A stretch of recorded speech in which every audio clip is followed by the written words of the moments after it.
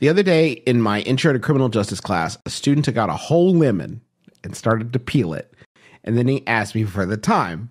So I told him, and he went, Oh, okay, in a sad tone of voice, and put his partially peeled lemon back in.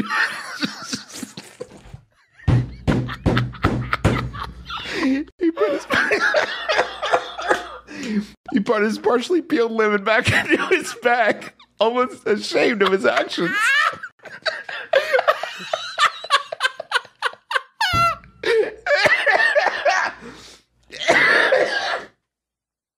My question is this What should I do if this situation comes up again? What is the code word that I can use so I can get this man to enjoy his lemon in class?